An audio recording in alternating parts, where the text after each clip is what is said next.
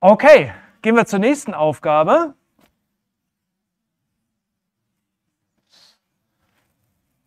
Also vielleicht das Volumen der Pyramiden zu schätzen bei dem Bild, das da abgebildet war, das war eine grobe Aufgabe. Ne? Wenn ihr sagt, okay, ungefähr die Längen, die sind doppelt so lang, die Unterseiten oder so, dann haben wir halt das achtfache Volumen.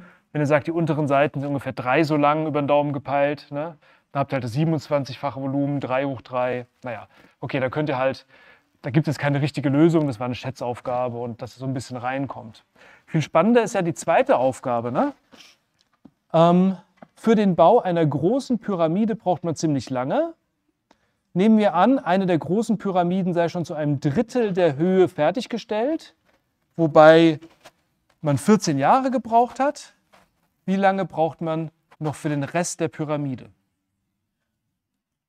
Also, Situation ist die folgende.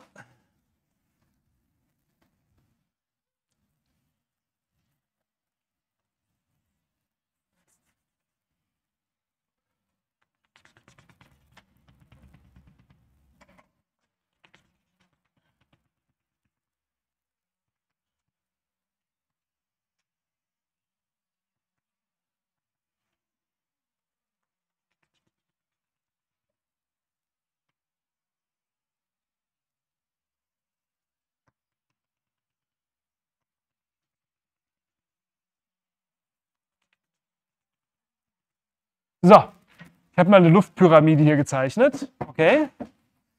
Und die Pyramide, die jetzt, die wird eine Pyramide gebaut, ne? Und die ist bis zu einem Drittel der Höhe fertig gebaut. Also ungefähr, ja.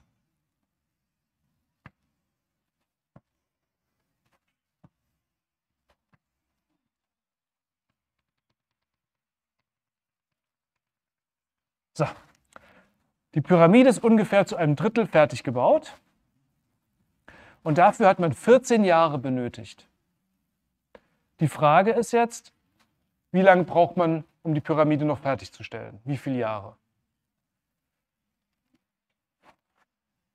Also gehen wir mal davon aus, die Pyramide ist innen drin solide. Ja? Also es ist jetzt nicht so, dass man irgendwie so nur die Randsteine aufsetzt und hofft, dass es nicht einstürzt, sondern das ist alles solide gefüllt mit Stein.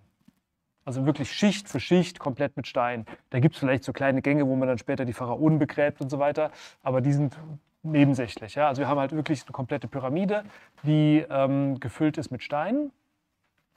Und ähm, oh, ich habe, glaube ich, gerade die Geste verwendet, die das, das Verfolgen ausmacht, oder?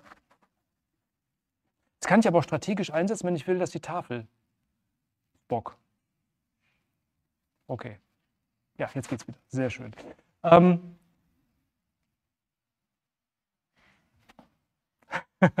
Gut.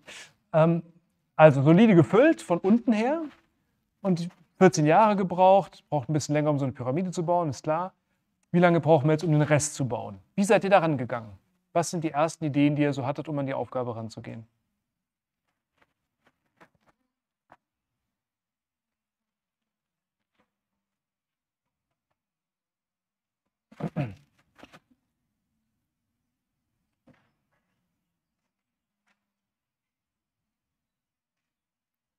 Was habt ihr euch als erstes überlegt?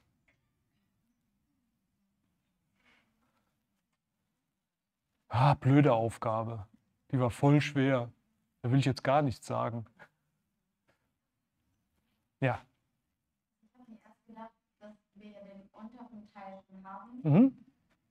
Und weil wir aber über die Jahresanzahl nicht Volumen, du kannst ja eine große und eine kleine Pyramide, ähnlich wie in der A. Mhm. Und dann habe ich erst gesagt, okay, man kann ja das große eigentlich ziemlich einfach berechnen ähm, und dann das kleine auch. Und dann einfach das kleine vom großen abziehen. Okay, das heißt, Du hast gesagt, du hast, jetzt du hast wie bei der Sektglasaufgabe so ähnlich geschaut, kleine und große Pyramiden. Wir brauchen als allererstes mal, damit wir überhaupt diese Ähnlichkeitsüberlegung ansetzen können, zwei ähnliche Körper. Was sind denn hier die ähnlichen Körper?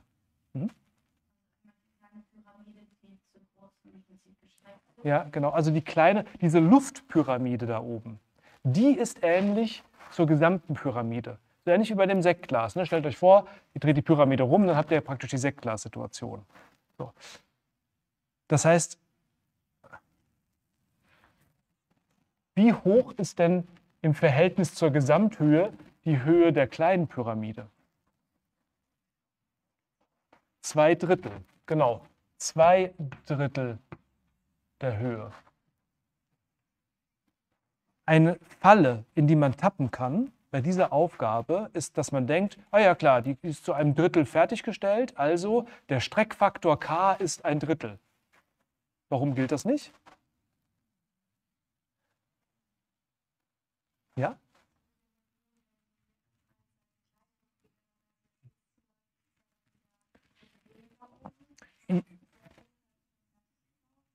Ja. Hm? ja. Genau. Das hier unten, der schon fertig gebaute Teil, ist nicht ähnlich zur großen Pyramide. Der hat ja keine Spitze. Also, der müsste ja mal eine Spitze haben zumindest und dann müsste er noch in alle Richtungen gleich gestreckt sein. Das, was man hier unten sieht, ist ja keine Pyramide, keine kleine Pyramide, sondern ein Pyramidenstumpf. Eine abgeschnittene Pyramide. Ja?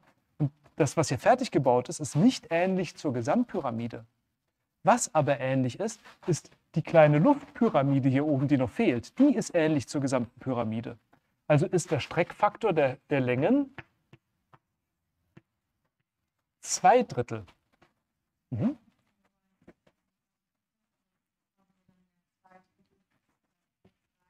Genau.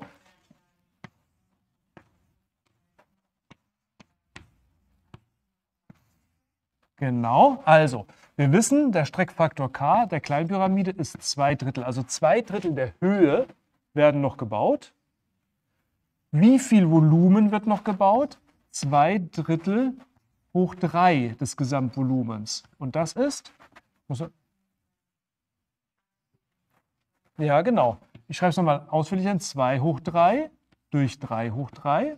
Ja, Potenzgesetze anwenden. 8 27. Genau, 8 27. Das heißt im Umkehrschluss, wie viel ist schon fertig gebaut vom Volumen? Stopp, genau. Fertig gebaut sind 19 27. Ja, also es fehlen noch 8 27 vom Volumen. 19 27 sind fertig gebaut.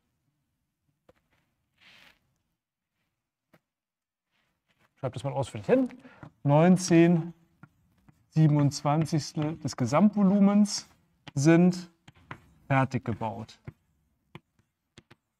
Achso, man muss natürlich sagen, ähm, die Zeit, die man zum Bauen braucht, ist proportional zum Volumen, das man gebaut hat, weil es aufwendig ist, natürlich die Steine hinschleppen und die Steine dahinsetzen. Ne? Also je, je, mehr Steine ich brauche und unten brauche ich ganz viele Steine, da brauche ich ganz viel Zeit. Ne? Also für ich habe sozusagen in den 14 Jahren schon 19 27 des Volumens fertig gebaut und es fehlen noch 8 27 des Volumens, also die Steine, die ich da hinschnippen muss. Mhm. Okay. Also 19 27 des Volumens sind fertig gebaut. Was machen wir jetzt? Wir wollen ja wissen, was ist nochmal die Frage? Wir wollen wissen, wie lange dauert es noch, um die Pyramide fertigzustellen? Ja. 19, 1925 ist ja 14 Jahre Laufzeit. Moment, genau. Ich schreibe hier mal hin Volumenanteil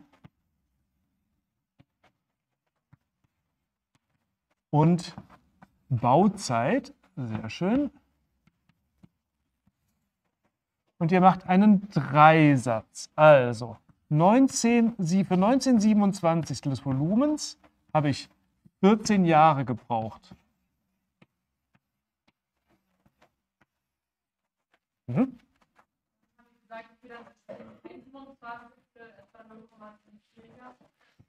Ein 27. Wie lange brauche ich, um ein 27. der Pyramide zu bauen? Ne, also wir haben 19 27. Wir wollen wissen, wie lange brauche ich für 8 27. Ich weiß, wie lange brauche ich für 19 27. Ich will wissen, wie lange brauche ich für 8 27. Also wäre es doch geschickt, erstmal zu wissen, wie lange brauche ich für 1 27. Ja? Für 1 27. Wie komme ich dahin? Von 19 27 auf 1 27. Also erstmal durch 19, ne?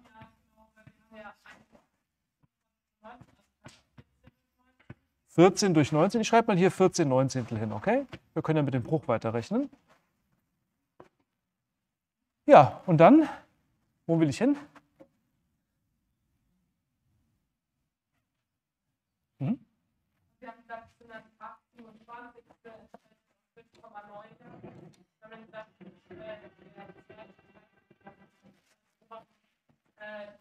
noch gebaut werden, brauchen wir auch ja. Okay, langsam, nicht ganz so schnell. Also wir wollen jetzt zu 8 27, weil wir haben ja 8 27 Volumen noch fertig zu bauen. Mal 8. Und dann steht hier 14 mal 8 durch 19. Was ist 14 mal 8?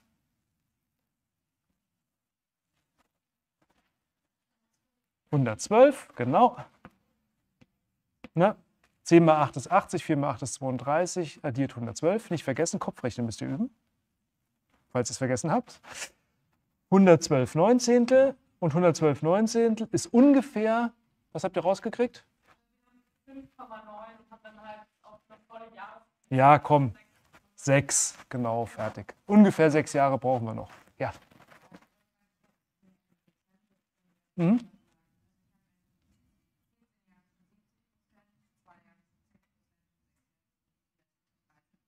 Okay, man kann auch in Prozent umrechnen, dann mit Prozenten rechnen.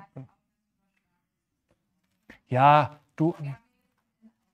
Ja, ja, klar. Wir haben all, bei all diesen Anwendungsaufgaben muss man jetzt nicht versuchen, möglichst präzise zu rechnen. Denn Mini-Fehler wirken sich ohnehin erheblich aus. Also ihr könnt euch vorstellen, wenn jetzt irgendwie ein paar Ägypter krank werden, dann dauert es halt ein paar Tage länger oder so, ja. Oder keine Ahnung, der Pharao sagt, wir haben keine Feiertage mehr, jetzt müssen wir alle durcharbeiten im Jahr, dann dauert es kürzer. Naja, okay, also ungefähr sechs Jahre, meine Güte. Brauche da nicht so streng zu sein. Ja. Also die Pyramide wird in ungefähr sechs Jahren fertig sein. Wir werden ungefähr 20 Jahre gebraucht haben, um die Pyramide zu bauen. Ich habe keine Ahnung, ob das realistisch ist, man hat irgendwelche Zahlen. Ne? Ja. Weil ich denke da manchmal am Anfang immer ein bisschen zu kompliziert. Also ich habe mir einfach Verhältnis das mit Werten gemacht. Mhm. Ähm, und wenn das jetzt in so einer Aufgabe in etwas so wäre und jetzt zum Beispiel ich würde, ich würde jetzt kompliziert denken, wäre es dann mit den Werten auch okay, mhm. weil der Aufgabe schon implizit mit K steht und das wäre halt einfach ja, also die Frage ist, ist okay, wenn ich jetzt hier irgendwelche Werte annehme, irgendwelche Höhen und so weiter, um dann am Ende auf das richtige Ergebnis zu kommen. Ähm, in der Aufgabe sind ja keine Werte vorgegeben. Das heißt, wir betrachten die allgemeine Pyramide. Das heißt, du solltest die Aufgabe auch allgemein lösen. Es ist nicht schädlich, wenn dir das hilft, am Anfang erstmal konkrete Werte zu nehmen und es mal durchzurechnen oder so. Nur du solltest schon den Schritt noch machen und dann dich von den konkreten Werten lösen. Und es sind ja eigentlich gar keine nötig gewesen. Ja? Wenn du konkrete Werte hier verwendest, dann ist man schon eher geneigt, oh, ich nehme mal die Volumenformel von den Pyramiden und rechne mal das Volumen jeweils aus. Und schon bist du in dieser Volumenformelgeschichte drin, was viel zu kompliziert ist. Wenn du einfach nur mit k und k hoch 3 rechnest, ist es einfacher. Kannst natürlich machen, aber du musst dich dann nochmal lösen davon und eigentlich die Aufgabe nochmal durchrechnen, ohne dich auf konkrete Werte zu beschränken.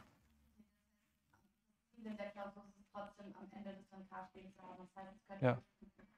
ja. Und die Aufgaben sind wirklich in der Regel so, dass man halt sich überlegen muss, was ist k, was suche ich? Ich suche k Quadrat oder k hoch 3 und fertig. Ja. Okay, ja.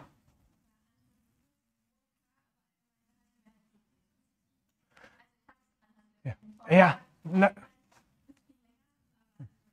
natürlich, sind, natürlich ist so, dass jeder richtige Lösungsweg okay ist in der Prüfung und auch volle Punktzahl gibt. ja? Also ihr, ihr seid nicht festgelegt auf einen Lösungsweg, es sei denn, ich schreibe ihn in der Aufgabe vor.